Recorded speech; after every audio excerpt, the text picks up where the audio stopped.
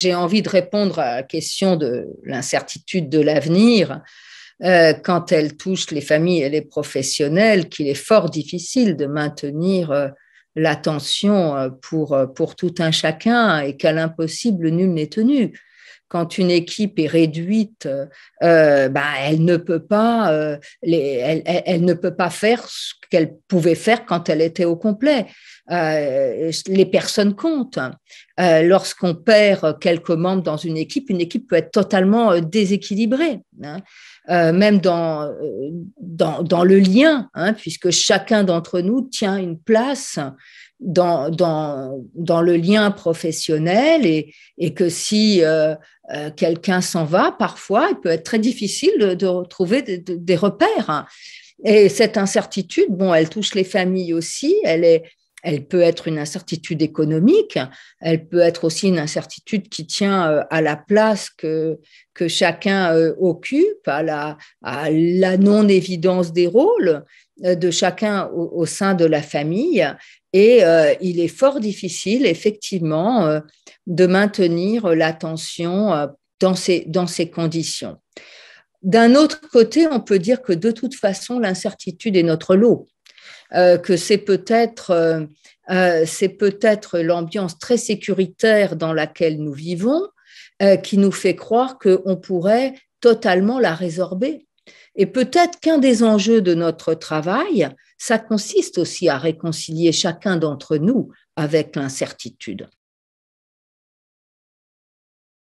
Le seul gain qu'on peut obtenir euh, de la mise en œuvre de techniques et de procédures, c'est d'avoir bien fait son travail, d'avoir été un bon petit soldat toute la journée, et puis on rentre et le bon petit soldat va se reposer.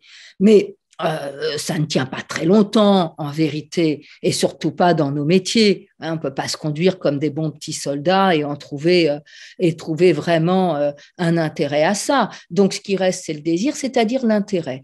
Et là, euh, bah, peut-être qu'après tout, on peut s'intéresser aussi à la philosophie, euh, justement, et à ce qui est au fait que l'incertitude, bah, dans les sagesses de, de l'Antiquité, bah, c'était le, c'était le, premier principe, au fond. Hein. Euh, l'incertitude qui concerne notre vie, est-ce qu'on sera encore vivant demain ou est-ce qu'on n'est pas en train de vivre les derniers jours de notre vie, là où les dernières heures, hein, c'est les stoïciens qui disaient eh ben de, de, vivre comme si euh, notre vie allait s'arrêter, parce que là au moins on diffère pas, on s'intéresse et on reste présent. Hein. On reste présent à soi, ce qui est la première vraie présence. Donc euh, l'incertitude, ben, c'est l'incertitude de l'avenir, bien sûr, c'est l'incertitude du présent, et c'est ça qui nous ouvre euh, la temporalité. La temporalité, elle est incertaine.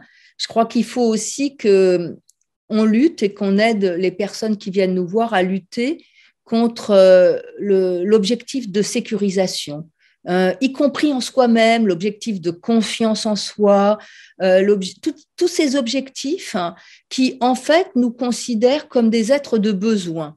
la sécurité, à la vrai dire, que nous pouvons espérer avoir, oui, c'est la sécurité minimale de la satisfaction des besoins. Mais euh, ça, ça ne fait pas une société, ça ne fait pas un lien à l'autre. D'ailleurs, si nous étions des êtres de besoin, euh, nous ne connaîtrions pas, nous, tous les professionnels du soin que nous sommes, tous les troubles que les gens nous présentent quand ils viennent nous voir, aussi bien les troubles dans les familles que les troubles des personnes, puisque euh, même le besoin de manger, même le besoin de boire peuvent être complètement dérégulés sous la pression des pulsions et du mal-être. Donc, euh, euh, il n'y a pas de sécurité. Il n'y a pas de sécurité. Et si, euh, si les situations dans lesquelles nous nous trouvons nous permettent de nous réconcilier avec l'incertitude, peut-être pourront-elles aussi nous reconduire à nous interroger sur le type de société que nous voulons, sur le type de lien que nous voulons et par là même sur le type de famille que nous voulons. C'est-à-dire que l'intérêt que nous pouvons maintenir vivant pour ceux qui viennent nous voir tient à ce qu'ils nous apprennent aussi de la société. Et donc, plus ça va mal, plus dans une certaine mesure, nous pouvons rester attentifs parce que les gens que nous recevons nous apprennent nous apprennent quel est notre lot hein, dans, la société d'aujourd'hui.